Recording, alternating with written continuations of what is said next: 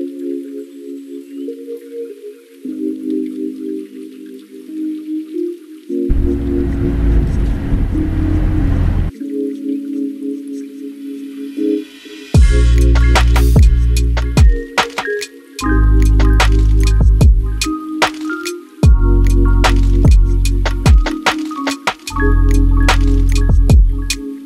so I finally made it to the Peak District. I'm near Baslow and I'm heading to Chatsworth House, aka Pemberley in the 2005 Pride and Prejudice. Um, it was a bit of an ordeal to get here. My train was cancelled, so I had to wait about an hour and 10 minutes and then get on a different train. Um, to Sheffield instead of Dore and Totley.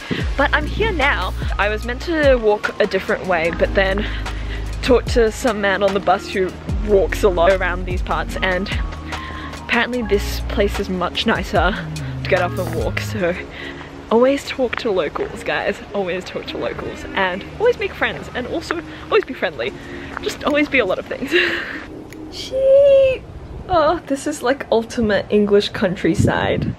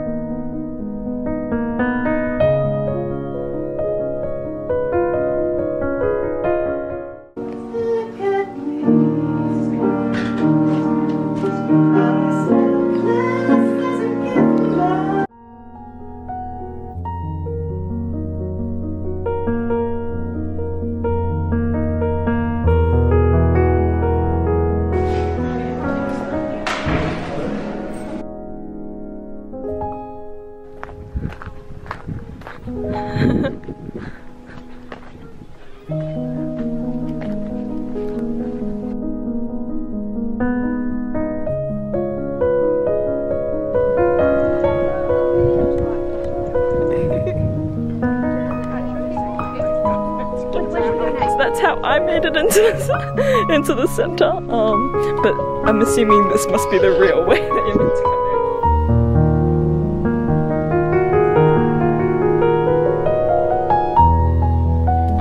because I'm still trying to be an adult, I brought my couscous salad from like three nights ago.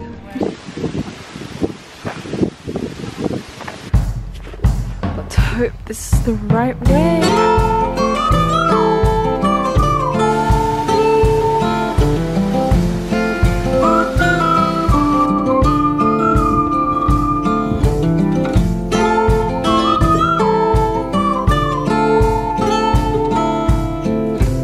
So here I am. And apparently I'm meant to follow this footpath. I've been in oh. your waters, been knocking But at your on the other hand, this is quite beautiful.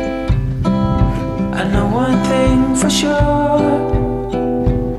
Oh, I've never that's been fun. so close Okay. before.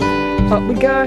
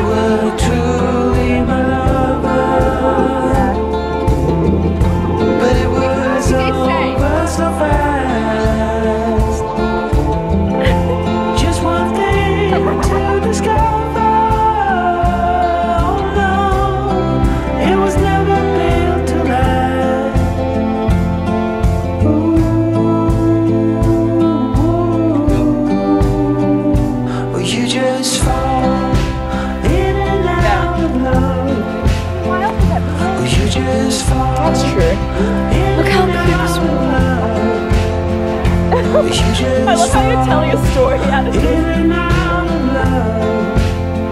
Oh, you just fall. Okay, so it's been a long time since I actually spoke to you and updated you on what's happened.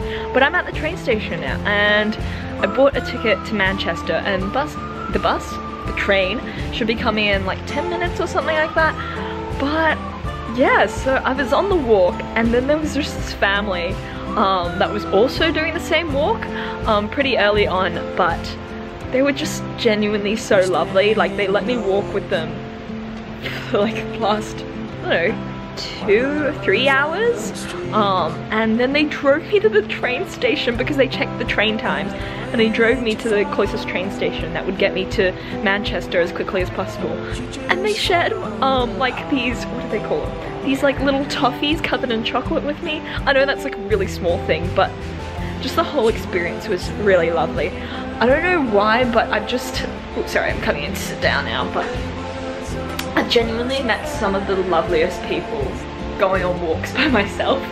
Um, I think it's just like being alone makes you really approachable to others and so even though I, you know, started off today alone and that was like nice still, like it's nice being able to spend as much time as you want in a certain place but it was also really lovely um, walking with that family um, and just chatting with them. Yeah, it was a great day basically. And mainly because of them, like they were just so kind um, and so lovely.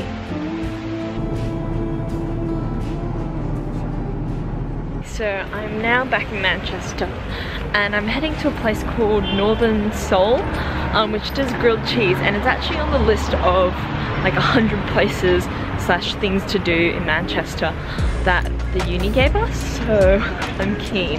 But I think I'm gonna see if I can get it takeaway because I want to get home my feet are wet and I'm just genuinely really tired.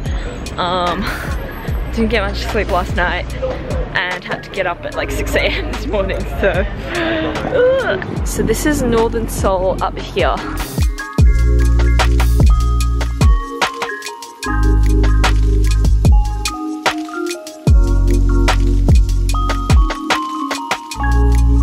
finally back at home and I've got my grilled cheese. It was actually really pricey. Eating out in the UK is super expensive. Like this grilled cheese um, with like, I don't know, some balsamic vinegar and tomatoes and stuff. Um, I think it cost about like 10 Australian dollars and this was two pounds. So that's like another like three to four Australian dollars, which like, I mean, are you seeing the size of that thing? Tiny. Um, but you know, I'm glad to be home. I'm glad to have a meal, and I've got Bake Off on. Well, I'm about to put Bake Off on, so it's gonna be a good night, and I'm gonna sleep well tonight. That's for sure. Okay, so here's the taste test. Let's have a look.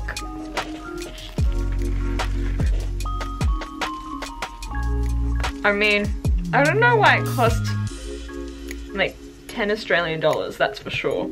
But, I mean, it's grilled cheese. You can't really mess it up. It tastes delicious anyhow.